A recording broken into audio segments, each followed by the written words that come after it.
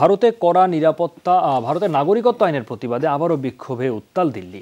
জামি মসজিদ সহ বিভিন্ন এলাকায় জড়ো হয়েছেন হাজারো বিক্ষোভকারী। কড়া নিরাপত্তা আর ধরপাকড়ের মধ্যেই সমাবেশ চলছে মুম্বাই, কলকাতা আর রাজস্থানেও। সামাজিক যোগাযোগ মাধ্যমে পোস্টের জেরে উত্তরপ্রদেশে আটক করা হয়েছে একশো চব্বিশ জনকে। শুক্রবার সকাল থেকেই উত্তরপ্রদেশে চলছে নিরাপত্তা বাহিনীর টহল।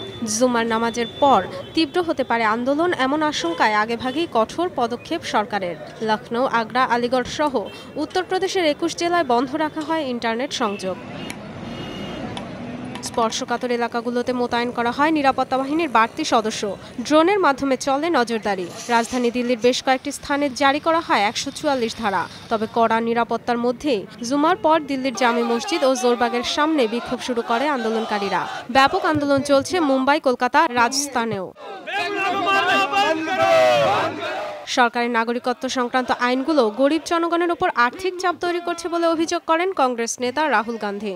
চাহে এনপিআর হোক ये हिंदुस्तान के गरीब लोगों पर एक टैक्स এনআরসি হোক বা এনপিআর গরিবদের জন্য তার ট্যাক্স স্বরূপ সরকার এসব পকেটের পয়সায় করছে না বরং জনগণের উপর চাপিয়ে দেয়া হচ্ছে খরচ पर एक टैक्स था রাহুলের বক্তব্যের কড়া জবাব দেন স্বরাষ্ট্রমন্ত্রী দাবি নাগরিকত্ব আইন নিয়ে জনগণকে বিভ্রান্ত করছে কংগ্রেস कांग्रेस एंड कंपनी अफवाहें फैला रही है কংগ্রেস প্রচার করছে মুসলিমরা নাগরিকত্ব হারাবে।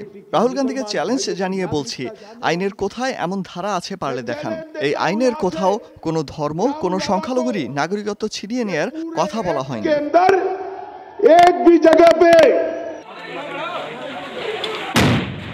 গেল শুক্রবার জুমার পর নাগরিকত্ব আইন বাতিলের দাবিতে ব্যাপক বিক্ষোভ হয় উত্তরপ্রদেশের মসজিদগুলোতে।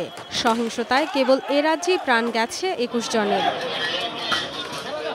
Dorothy Tasrin Jamuna News.